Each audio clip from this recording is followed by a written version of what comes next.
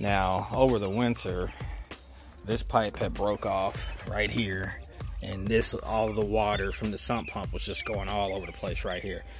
So needless to say it killed out this area but i also had my hose station here with the the reel of um, the water hose so it kind of killed that grass which this might come back but i'm thinking what i want to do instead is just create a, a little landscaping area maybe put some rock in here so i can have my hose station there and uh, we won't have to worry about this.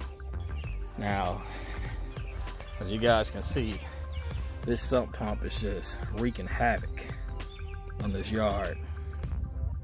And I mean, it's causing all kinds of problems downstream too. Look at all these weeds that's popped up because it's washed out areas and allows weeds to take hold. and it's pretty much it's just all messed up all the way down. And I don't know if this is I mean this is because here's my side. This seems like this is not even side. I don't even know what's going on. So what I want to do I want to reroute this piping along this way and obviously that's gonna stop from having to have this pipe just way out here so I'm gonna bring this pipe this way, over here, and then it's gonna go basement down there. So it's gonna go across here, under this gutter, and then up and to the top of this. And then I'm also gonna tap this rain spout. And take a look at this barrel. It's called uh, it's from Rescue uh, Environmentally Friendly Responsible Products or whatever. As you can see, it's got a planter on top. That's kind of neat. And the back of it is flat. So it's still 50 gallons, even though, you know, the back is flat like this, which I really kind of question that. It don't seem like it would be 50 gallons.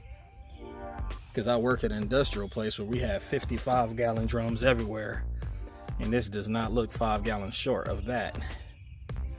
But that's what it says 50 gallons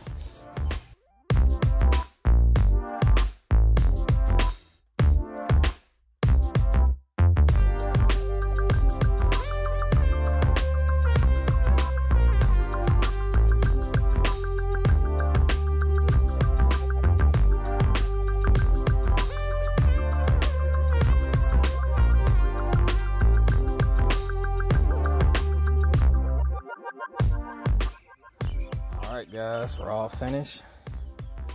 Got the sump pump going down to this pipe.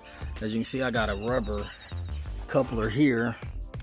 And that's because uh, over the winter I'm obviously gonna have to come up with another solution. So anyway pipe comes out here. It goes along here across the basement window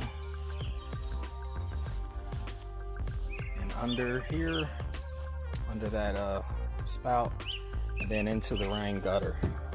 I mean, into the rain barrel. So the one thing I'm worried about is once it start coming out, is it gonna wanna blast out? So there's um, a little bit of space here, and I think that's gonna be good to more or less vent. It will also be able to vent through this pipe because this uh, is gonna be empty, so you could it's gonna vent out as water goes in. So you got this planter up top and it has a little hole to drain water once it rains in there. And uh, that's pretty much it guys. So I'm actually my sump pump has been collecting water or my sump has been collecting water while I worked on this. And um, it's ready to pump so I'm gonna go plug it in and hopefully we'll have some water in here once I get back upstairs. As you can hear, no water inside. We're gonna see if we can get some, some water pumped to here. All right guys, now here's the sump pump. My light is out in this part of the basement. Anyway, so you got the sump pump down here. And as you can see, not gonna take top off, but there's water down in there for sure. So I'm gonna turn this on and I'm plug it, I'm gonna plug it in and it should turn itself on. So I don't actually know the maximum pressure for this for this pump. Oh, quit kicking that noise.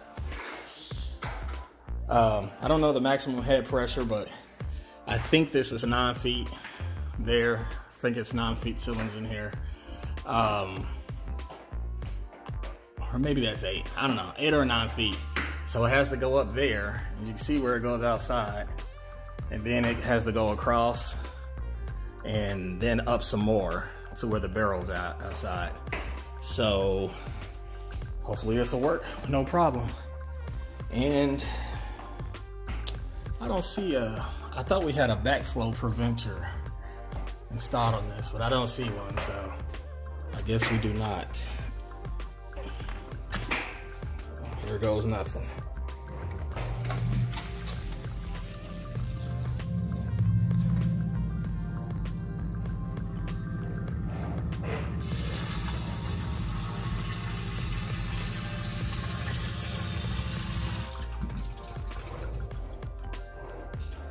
All right, the water left this for sure.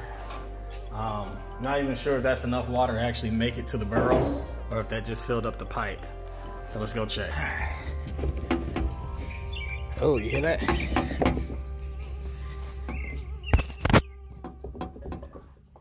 So we do got water inside. Not enough to come out though. I don't know. Just a little bit. So this is water that came from the sump. Looks nice and clear. And now filling the rain barrel. So like I said, guys, ultimately I want to get maybe uh, one, if maybe not even two more rain barrels, or possibly an underground, a buried tank. Maybe something that can hold hundreds of gallons of water and get a pump and actually use that to water the grass. That would be ideal.